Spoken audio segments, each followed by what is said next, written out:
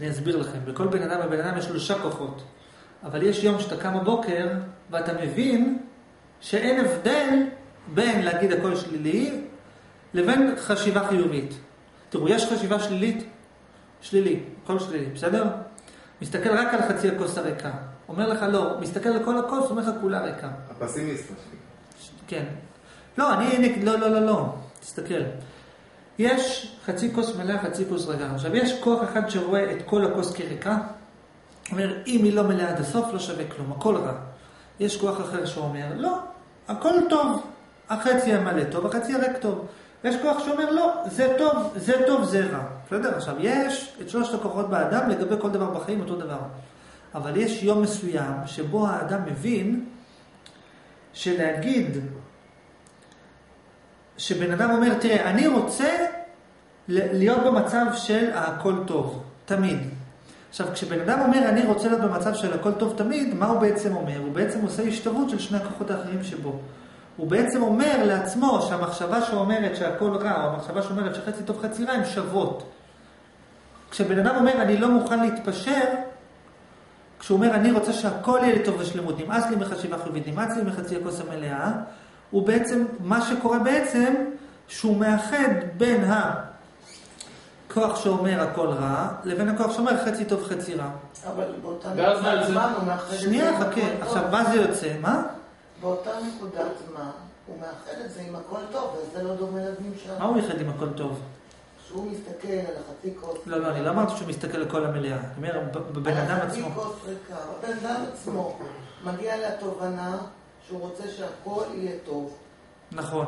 ואז הוא אומר... דהיינו, רגע, תעצרי פה, שמה זה אומר בעצם? שבן אדם לא אומר... מה יהיה, אם הכוס מלאה, אם הכוס ריקה, או אם הכוס חצי מלאה, חצי ריקה, הכל טוב. אולי צריך למצוא לזה מילה אחרת. נו, נו, זה לא בסדר, הולך. נו. אז זה לא דומה לנמשל, כי בנמשל שלך... רגע, אז איך זה קשור למה ש... איך זה כן קשור? אבל היה עוד חלק. שהוא... תראו, כל בן אדם ובן אדם מוכן לפנטז על זה שהכל יהיה טוב, מאוד לא רוצה שהכל יהיה רע, ומוכן להתפשר על זה שחלק טוב, חלק רע. אבל יש שלב מסוים בהתפתחות האישית של הבן אדם, שהוא מרגיש שהשלב שבו הוא אומר זה טוב, זה רע, מצד עצמו, הוא אומר עכשיו צריך להתקדם לבא, לשלב שבו הכל יהיה לי טוב. עכשיו, ברגע שהבן אדם אומר, אני רוצה להתקדם לשלב שבו תמיד יהיה לי טוב, בלי חצי כוס ריקה בכלל, שאני לא צריך להתפשר יותר בכלל, מה שבעצם הוא אומר, הוא בעצם אומר שלומר שהכוס ריקה לגמרי, או לומר שהיא חצי מלאה, חצי ריקה, זה שווה. אה, אוקיי, הבנתי. אבל זה שווה? מה? אבל זה שווה גם לכוס מלאה באותה נקודת זמן. הוא עוד לא הגיע לזה שהכוס מלאה, זה כבר הסכם שלום סופי. אם כולם הסכימו, אם כל תפיסת המציאות של האדם נעולה על זה שהכוס מלאה, כולה, לא, לא. אז יש הסכם שלום, זה כבר הסכם שלום בין כל הכוחות. ההרגש שלו כלפי שלושת המצבים זה ההרגש שלו טוב. כי כשהכוס מלאה אין ספק שטוב, נכון? הוא אומר הכל טוב, אז ברור שזה טוב. לא, רגע, שנייה, אני עוד לא סיימתי, נו, כן. שהכוס, כשהוא מגיע למקום שהוא אומר, אני רוצה לראות את הכל כטוב, השני החלקים הנוספים של הכל רע וחצי רע, חצי טוב, באים ונהיים גם הם טוב. זה בהנחה שהוא הצליח להגיד הכל טוב, אני מסכים איתך, זה השלום אוקיי. האודיאלי, שבו אתה- גם החמאס, גם הפת"ח וגם מדינת ישראל עשו הסכם שלום, והם גרים גם ביחד, בסדר? זה האידיאל. אבל בואו נחדד. פת"ח, חמאס, מנסים לעשות שלום. מה זאת אומרת? שהבן אדם מתחיל להבין, או לנסות לחשוב, שאולי המחשבה שאומרת הכל רע, והמחשבה שאומרת לפעמים זה טוב, לפעמים זה רע, אולי שניהם אותו דבר. באדם עצמו יש שלבים מסוימים, התבוננות מסוימת, שגורמת לו לחשוב שהמחשבה שאומרת שהכל רע, והמחשבה שאומרת שזה חצי טוב חצי רע, שתיהם אותו דבר. ואז מה עכשיו, אתה אומר? ואז, זה- רגע, רגע, רגע, ואז, ואז, או ששניהם רעות, או שעכשיו החיים שלך יותר רעים, או שאולי בזכות זה החיים שלך יותר טובים. מה אני אומר? איזה משפט אני אומר? בתוכך. שהכל רע. בתור, אני אסביר לך. עכשיו מה אני את משפט מה אני אסביר לך. לקבל את מה שקורה? גם לא... שנייה, שנייה, שנייה, שנייה, שנייה. אני מסביר לך, שום משפט לא השתנה במה שאתה טוב, אומר. מה? אם חשבתי לפני כן שהכל רע. לא. לא אני- הבנת, לא הבנת, לא הבנת. אוקיי. אתה בן אדם, יש בתוכך שלושה כוחות, תמיד. בסדר, נדבר על השניים, אתה מדבר על האיחוד. אה, דבר, הוא אומר, אני לא יודע אם זה רע או שזה רק טוב. אז מה אני אתן? מה אני... אני אסביר לך, אני מדבר אסביר לך. שנייה, שנייה, שנייה, לא, הוא. עדיין מדבר על השניים שמתאחדים. שנייה, שנייה, שנייה, שנייה. יש, אתה, אתה עומד בצד צופה בתהליך, בסדר? יש תהליך שלושה אנשים. עכשיו אתה, עכשיו אתה מתבונן על הכוחות שבתוכך. אתה מתבונן מעמדה ניטרלית. ויום אחד אתה אומר לעצמך, אולי בכלל אין הבדל בין הכל רע לבין חלק טוב, חלק רע. זה, זה הכוונה שאתה מנסה לאחד ביניהם. הכו- אה, איפה ההבנה... חיצוני בכלל? ההבנה שלך. שחושבת שאולי אין הבדל בין הכל רע לבין חצי טוב חצי רע, היא בעצם מבטאת, עכשיו זה לא ההבנה החיצונית, זה תחושה פנימית, יש בתוכך גם תחושה פנימית שאומרת שאין הבדל ביניהם. היא בעצם מבטאת את ההסכם שלום ביניהם. יש בתוכך גם תחושה רביעית, בסדר? אמרנו שלוש, יש גם רביעי, שאומר אין הבדל בין הכל רע לבין חצי טוב חצי רע. ואני, מה שאומר שגם יש תחושה חמישית שאומרת גם אין הבדל בין חצי טוב חצי רע לבין הכל טוב, ויש תחושה שישית שאומרת שאין הבדל משום דבר לשום דבר. בסדר? אבל אני אומר בעיקרון, יש תחושה בתוך כל בן אדם ובן אדם שאומרת לו, תקשיב, אין הבדל בין להגיד הכל רע לבין להגיד חצי טוב חצי רע.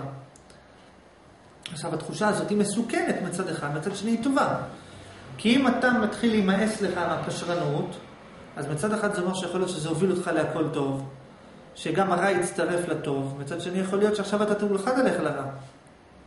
כשבן אדם אומר, אני לא מוכן יותר להתפשר על הטוב שלי, אז או שזה הוביל אותו לזה שהכל יהיה לו טוב, או שעכשיו הוא לא הצליח לעולם להגיע להסכם שלום, אז הכל יהיה לו רע. זאת אומרת, כשהפתח מתחבר עם החמאס, אז או שעכשיו, וואלה, זו הזדמנות טובה לחבר גם את החמאס למדינת ישראל, לעשות איתם הסכם שלום.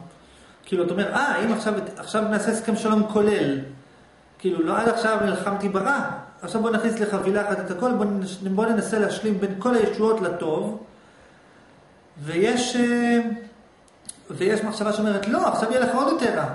אז אני אתן בזה עוד דוגמה. נגיד, בן אדם שחושב שחשיבה חיובית היא רעה, אני אדייק, בן אדם שחושב שחשיבה חיובית זהה לחשיבה שלילית, בן אדם שחושב את זה, אז או שזה יגרום לחיים שלו להיות הרבה יותר טובים אם הוא ישיג משהו יותר טוב מאשר שניהם, או שזה יגרום לחיים שלו להיות יותר רעים, כי עכשיו הוא גם לא יכול לחשוב חיובי. הוא כבר לקח את הפתח והפך אותו לחמאס, הוא כבר לקח את הפושר הזה והפך אותו ל... הבנו? מה אתה אומר? מה, לא הגיוני לך? אה? הכוח השלישי? איזה שלישי? דיברת עליו. דיברת על הכוח הטוב והכוח הרע. אמרת שיש עוד כוח אחד באדם. שהוא אומר, כן. שהוא ה- אני אקרא לו כוח החשיבה החיובית, שהוא לא הכל טוב כרגע, הוא הכל לטובה מחר. יש כוח שאומר, תקשיב, דפקו אותך, יש כוח שאומר, תראה, זה עצמו טוב, ויש כוח שאומר, תראה, זה לא טוב, אבל זה לטובה. אז זה כזה הכוח הלא משנה הזה? לא, לא, הוא כוח שהוא אומר לך, תראה, זה לא ממש טוב, אבל זה לא ממש רע. אה. הוא הכוח זה- הפושר. האמצעי הזה, שהוא אה, לא זה לא יצא. כן, כן, הוא הכוח הנפוץ ביותר. לא, אני חושב שהוא הוא באמת הכי מציאותי. הוא- הוא בתכלס הוא הכי נפוץ. לא? כן. הוא הזורם. כן, כן, הוא הזורם, הוא הפתח, הוא, הוא זה שאחראי למהומה או לשלום, לכו תדעו. עכשיו, אבל למה, לא עוזר, אבל למה זה לא עוזר למדינת ישראל שיש את הפתח? כי יש גם את החמאס.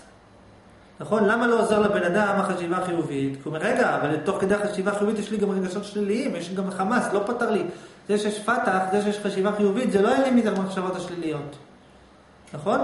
אז עכשיו מה שקורה זה שהבן אדם מתחיל להתייחס, מסיבה כלשהי, לחשיבה החיובית כמו לחשיבה שלילית. הוא אומר, או שזה הכל טוב, או ש... או ש... מה, הוא או הולך לכיוון לא. החלטיות כביכול?